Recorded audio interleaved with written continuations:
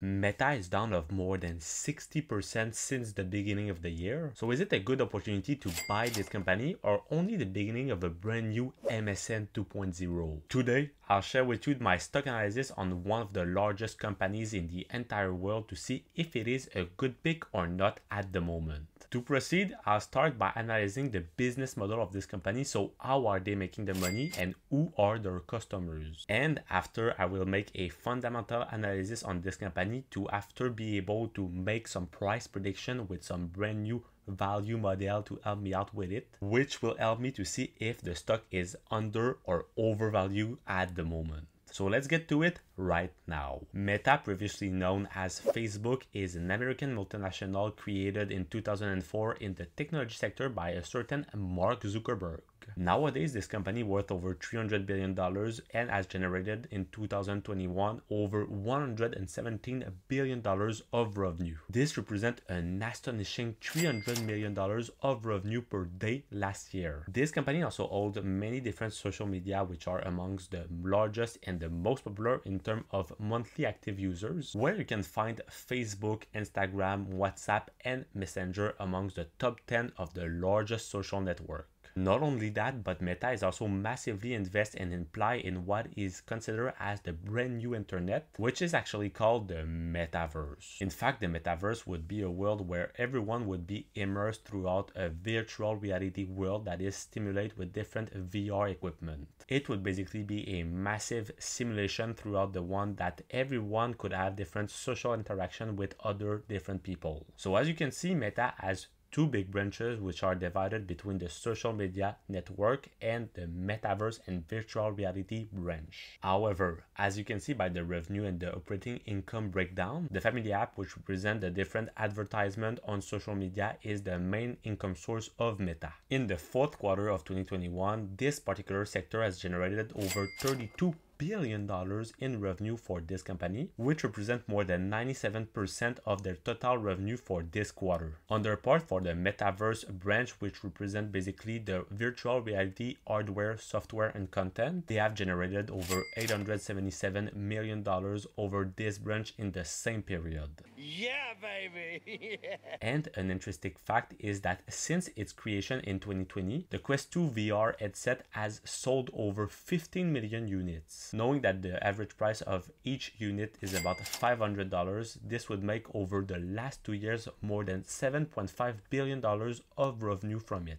Pretty incredible, don't you think, for something that represents only about 3% of the total revenue of this company. And with their clients from all around the world, just like their 2 billion monthly active users on both Facebook and Instagram, and the project growth in the future for the metaverse, Meta would definitely be a top pick on that side. But in that case, why is that stock massively down since the beginning of the year? In fact, just like companies like Shopify, there are plenty of different reasons that can explain it. First and foremost, obviously, the decline in the economic growth that we've seen since the beginning of the year has had a massive impact on this company. As we can see with the general market that is down of more than 20% since the beginning of the year, plus the different technology stocks, just like Meta, are usually more volatile compared to the usual defensive stocks, which means that when everything is going good and that we are in a growth period, they will tend to fluctuate higher and have some better returns on the long term. And usually when the market isn't really going well, just like presently where we are currently in a recession, while those stocks are also massively moving but on the wrong side, which means that they are really underperforming what is the market performance at the moment.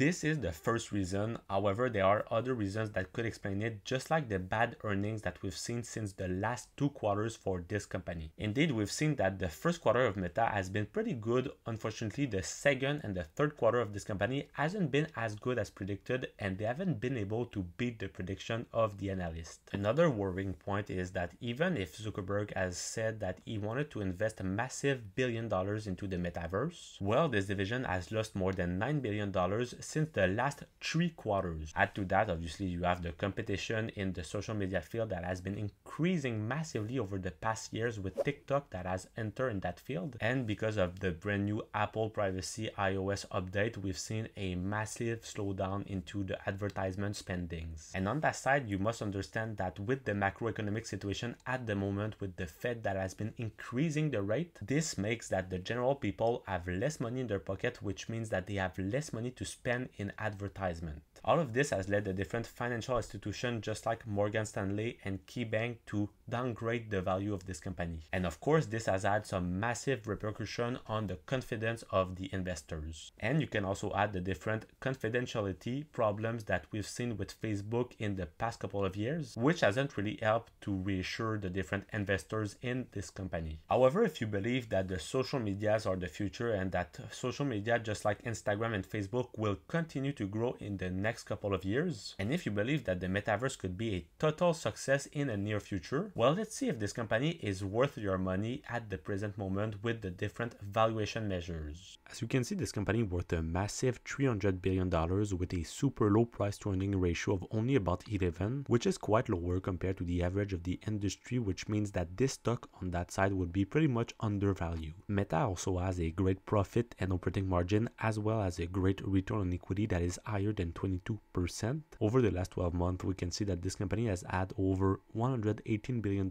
of revenue. Unfortunately, on the year over year period, we can see that the quarterly revenue growth as well as the quarterly earnings growth have both been negative. However, we can see that this company has a lot of cash, about $42 billion compared to about $26 billion of debt. But in terms of the risk, as we can see with the beta of the company, as I told you earlier, this stock is more risky compared to the average market. As we can see with the value drop in the 52 weeks change of about 65% compared to about 15% of change for the market in general. And as you can see on the last three years, in terms of revenue, they have been able to increase their total revenue. However, with the increase of the cost of revenue and of the operating expense, we can see that the operating income have been diminishing, which has also had the impact to reduce the earnings interest and taxes. But as we can see over the three last years, they have been able to increase their operating cash flow, which has led obviously to an increase in their free cash flow in total. Now to see what is the price prediction of this kind of company, I'll be using many different valuation methods. First, I'll be using the Peter Lynch valuation, which is basically the future growth of earnings per share plus the dividend yield that you divide by the price to earning ratio. Knowing the fact obviously that when you multiply the earnings per share with the price to earning ratio, you can find what is the current price of this company. In the case of Meta, we can see that with a future earnings per growth predict of 12 with no dividend, of course, because it isn't giving any dividend, and with a price to earnings of about 10, we can see that the result is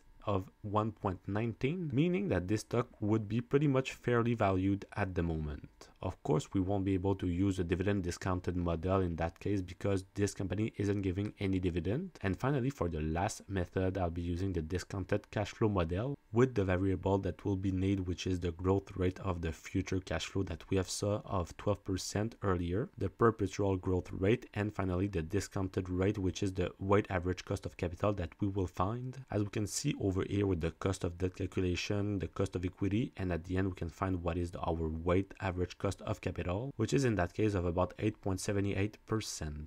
And as you can see, knowing that the current price of this company is about $115 and that the intrinsic value is about $438, with this model, we can see that it is also a buy, meaning that this stock would be pretty much undervalued at the moment. As you've been able to see in that video, Meta has had many different problems in the past year which has made them lost many hundred billion dollars of value. However, on your side, if you truly believe into the metaverse system and into the metaverse universe in the near future, and if you believe that all the different social media's importance in our life will continue to increase in the upcoming years, well, obviously, if you take those consideration, you can see that there is a real opportunity on that side for this kind of company. And this is why this stock at the moment could be considered as an undervalued stock. Nice. In any case, if you want to find what are the best stocks that you can buy right now in November 2022, check out the video is going to be right over here. And if you like personal finance, make sure to join the North family by subscribing to the channel for only $0.0 and I will see you soon. Peace!